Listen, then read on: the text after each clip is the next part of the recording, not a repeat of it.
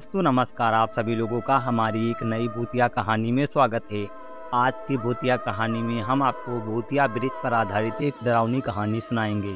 यह कहानी एक छोटे से गाँव के चारों ओर घूमते डरावने माहौल की है, जहाँ एक पुराना पुल एक भयंकर और श्रापित रहस्य के साथ खड़ा हुआ था। यह पुल उस गाँव का एकमात्र जड़ के साथ जुड़ा हुआ था और लोग इसके पास भी गुजरने की कोशिश नहीं करते थे। एक भी इंसान इस पुल के नीचे जाने की हिम्मत नहीं करता था, क्योंकि कहानियों में कहा जाता है कि वहाँ रात को खतरनाक आवाज़ें भी सुनाई देती हैं और वहाँ अजीब अजीब चीखें भी आती हैं। गाँव का नाम था रामपुर और यहाँ के लोग पुल के पास कभी भी नहीं जाते थे। वे पुल के बारे में कई किस्से भी सुनते हैं, लेकिन कोई नहीं जानता है कि यह सब सच है, या फिर केवल गाँव के बुज़ुर्गों की कल्पना का परिणाम है? रामपुर के एक युवक का नाम विक्रम था, जो कि गाँव के लोगों की आवाज़ सुनकर डर जाता था। विक्रम का नाम गाँव के बच्चों के बीच एक डरावनी कहानी के साथ जुड़ गया था और उसे डरने की आदत हो गई थी।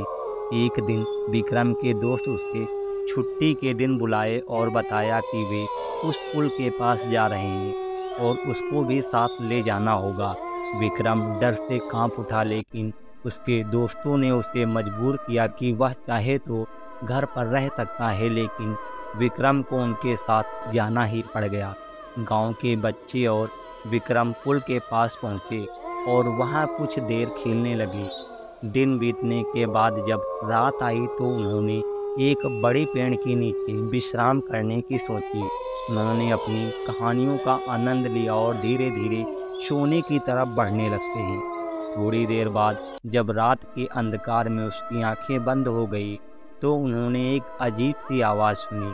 आवाज़ आती गई और फिर वो यह जानने के लिए उठ जाते हैं कि यह आवाज़ कहाँ से आ रही है। जब विक्रम और उसके दोस्त पुल की ओर बढ़े तो वे देखा कि पुल के नीचे कुछ अजीब आवाज़ आ रही है। जैसे कि कोई उनसे लथपथ हो रहा है। आवाज़ से डर से वे सभी डर जाते हैं और पुल के पास पहुँचे और देखा कि पुल की ओर से एक व्यक्ति निकल रहा है, जिसका शरीर और सिर से ब्लड निकल रहा है। वह व्यक्ति अपने हाथों में कुछ लिए हमारी तरफ़ आ रहा है। उसकी आवाज़ काफ़ी डरावनी थी। विक्रम और उसके दोस्त डर जाते हैं, लेकिन वे व्यक्ति की मदद करने के लिए निश्चय ही सोच लिए हैं। वे उसके पास गए और पूछा, क्या हुआ? ठीक हो ना आप? क्या हुआ? कैसे हो आप?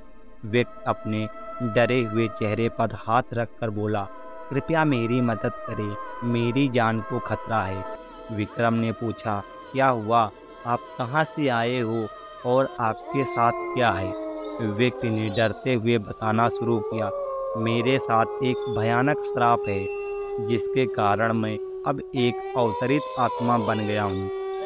मेरी जान को खतरा है और मैं इस श्राप को तोड़ने के लिए इस पुल की ओर आया हूँ। कृपया मेरी मदद करें। इस पुल को तोड़ने में हमारी मदद की आवश्यकता है। विक्रम और उसके दोस्त डर से थरथराने लगते हैं, लेकिन वे व्यक्ति की मदद करने के लिए निश्चय किया। उन्होंने सोचा कि एक ऐसा मौका है जिससे कि वे अपने गाँव के लोगों के सामने हीरो बन सकते हैं। वे व्यक्ति के साथ मिलकर पुल की साइड आगे बढ़ते हैं और वहाँ पहुंचकर उन्होंने देखा कि पुल बहुत पुराना और क्रूर दिख रहा है। पुल की छाया में उन्होंने वैम्पेयर की आँखों का पालन किया, जो कि वो डरावनी दिख रही थी। व्यक्ति ने उनसे कहा, अब हमें इस पुल को तोड़ने की तैयारी करनी चाहिए, लेकिन यह काम बहुत ही खतरनाक है। विक्रम और उसके दोस्त तैयारी करने लगते हैं और वे पुल को तोड़ने का काम शुरू भी कर देते हैं।